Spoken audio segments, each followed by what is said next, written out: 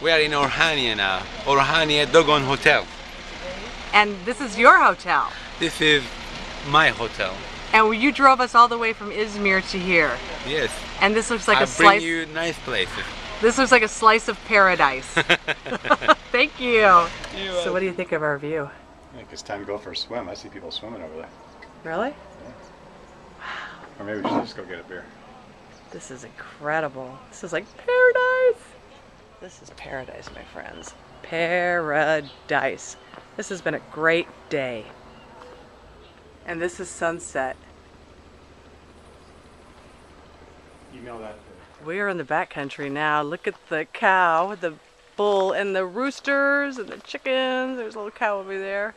So Brad and I decided to go on a hike outside of our little resort in Orhaniye. And this is what we found. This is our resort down here where all the boats are. And this is the little village of Orhaniye.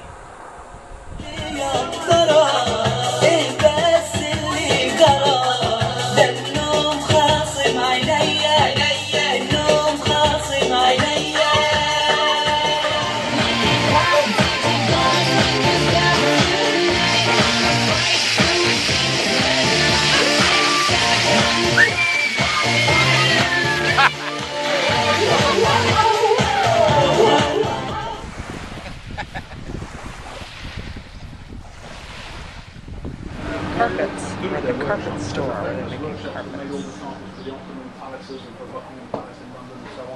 They make finer carpets of 7 by 749 lots.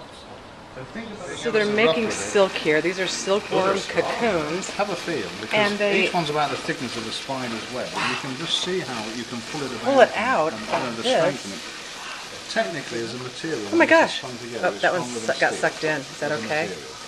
So you buy a silk carpet, you say it lasts Oh, for wow. hundreds of years. Of course, you've got something that's I mean, literally bulletproof. Um, and um, if he um, if he uh, opens one of the cocoons up, actually turn out. Eventually, I mean, And then take another 10, the silk comes off of this. So spool and onto here. grub that'll be left over And end. this is, that's the worm. just used for feeding his chickens. For chicken? And they've got lots and lots of carpets in here. All over the place. Beautiful.